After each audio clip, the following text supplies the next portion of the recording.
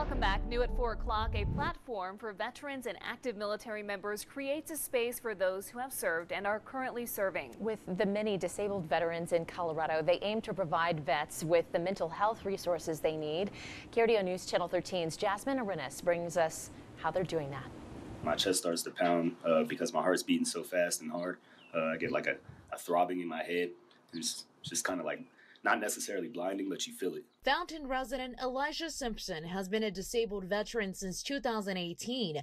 He served in the Army for four years and was stationed in Korea and Germany. Got like physical injuries that I have. You know, obviously, uh, I suffer from like anxiety. I have ADHD. His struggles with anxiety and ADHD came shortly after joining the military. Elijah is exactly why the Veterans Network has created a platform so he and other veterans can get what they need. A lot of veterans, um, you know, they leave service and they're they have this attachment.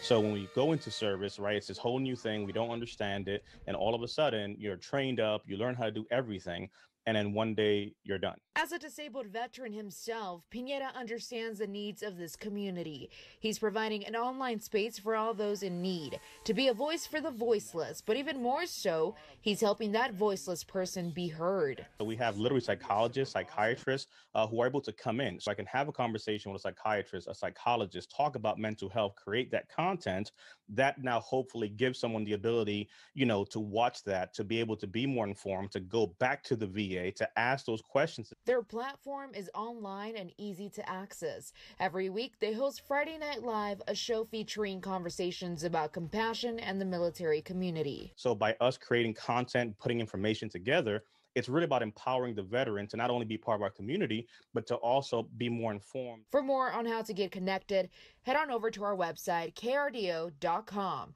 Reporting in Fountain, I'm Jasmine Arenas for KRDO News Channel 13.